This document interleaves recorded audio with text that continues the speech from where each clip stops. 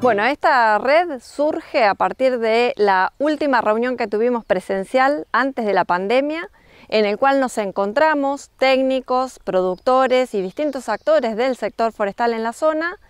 eh, bueno, para compartir un espacio de capacitación técnica, pero que eso generó de alguna manera un interés mutuo en compartir eh, bueno, actividades y compartir conocimiento en relación a la actividad forestal en la zona. Bueno, la región pampeana es la principal eh, provincia, digamos, eh, agroganadera de la Argentina, la, principal región, y bueno, claramente son estas las actividades principales donde la actividad forestal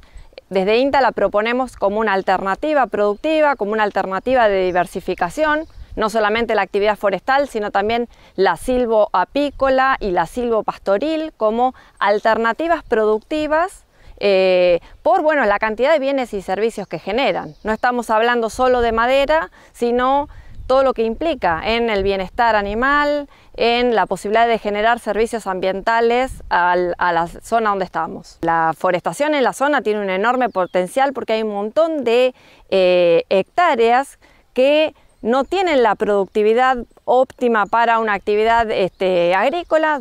la actividad forestal podría establecerse en estas zonas que resultan de alguna manera marginales. En general, bueno, tenemos principalmente eh, actores que, son productores agropecuarios interesados en incorporar la actividad forestal en la zona. También tenemos industrias forestales que bueno, tienen sus, eh, sus aserraderos o su industria en el delta y producen la madera acá en la zona continental.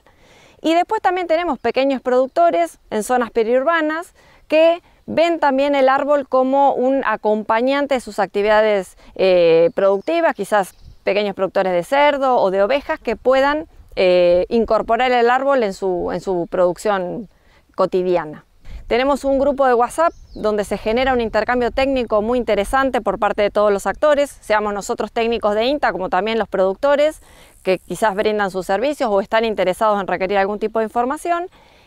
Una red muy dinámica que continuamente está incorporando nuevos actores, gente por ejemplo de la universidad o gente de empresas que de alguna manera dinamizan eh, este potencial y bueno, que después se traduce sea en la,